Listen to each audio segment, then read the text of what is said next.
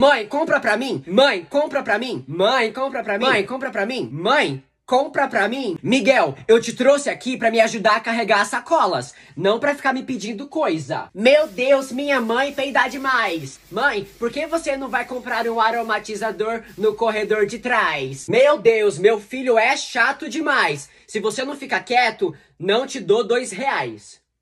Nossa! Humilhou. Atenção, dona Lourdes. Atenção, dona Lourdes. O seu filho Miguel te aguarda no setor de pães. Ah, moço, fala assim pra ela. Tá.